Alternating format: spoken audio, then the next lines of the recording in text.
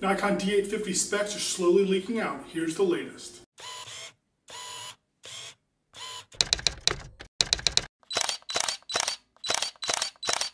NikonRumors.com put out an article last night with the three latest specs to the D850. First and foremost, the D850 is supposed to shoot 10 frames per second, and that's without a battery grip. Most of the time you actually have to add the battery grip on to add the few extra frames per second because it gets the extra power from that second battery, but this is without a grip. So that's straight out of the box, 10 frames per second. The 810, which is what the 850 is going to be replacing, shoots about 5 frames per second in FX mode. If you go down to DX mode, you might be able to get 6 or 7 out of it, but really who wants to do that? Nikon's flagship D5 will shoot 12 frames per second. So if you wanted to save a few thousand dollars and instead of buying the D5, you buy the D850, you'd only be giving up two frames per second, dropping from 12 to 10. Honestly, I'm really surprised Nikon would give that much power to the 850, knowing that potentially they could lose some of the sales for the D5 with just that little bit of difference. But at this point, it's all just speculation.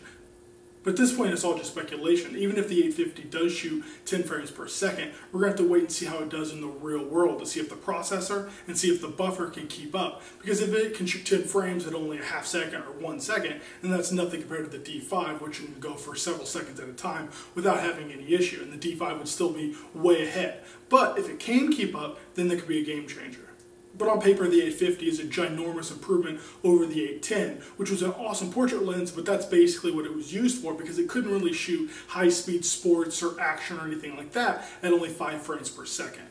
The second piece of information from NikonRumors.com was that the 850 will be using a different battery grip from the 800 and the 810, which used the MB-D12. This isn't that big of news, but if you do have the 800 or the 810 and you have bought a battery grip for it, knowing if you buy the 850, you're going to have to replace it.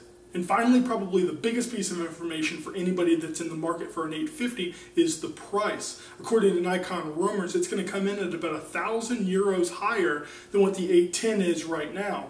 A thousand euros is about $1,200. The 810 currently sells for about $2,800, so if you do the math, that means the 850 will be coming in somewhere in the range of $4,000.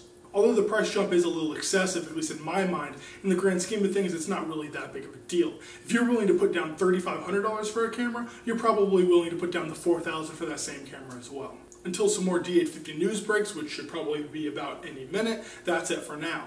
If you have any questions, you can comment below or you can message me. As always, be sure to subscribe and thanks for watching.